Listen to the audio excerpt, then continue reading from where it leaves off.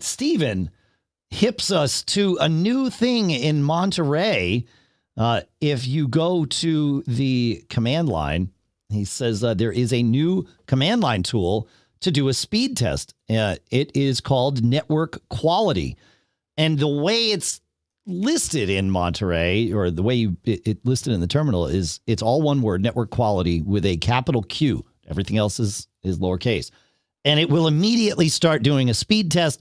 It doesn't tell you what sp- what servers it's using for the speed test, uh, but it will go out and do a download test and an upload test, and then it it gives you some, you know, it, it finishes. So when it first started running for me, I thought, oh, it's never going to stop. Like the way it was reporting it, it seemed like it was just one of those commands that that runs until you tell it to stop.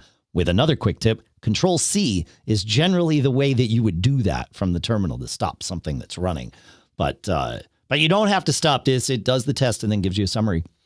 And I thought this is great having a having speed test built into to Mac OS. I think that's cool. I think the difference is that this is now baked into every version or every computer that has Mac OS Monterey on it, right? Like, so mm-hmm. it it doesn't give you information you can't get, but lots of people out there that don't have Ookla's command line speed speed test tool installed. Mm-hmm. Now it gives it absolutely gives them information they can't get. So uh, uh, are the people that make speedtest.net. That's how you m- know them more uh, more more likely that is more familiar to you. But uh, you can install. They have a command line tool, which if you have Homebrew installed, you can install with Brew install speedtest dash CLI for command line interface.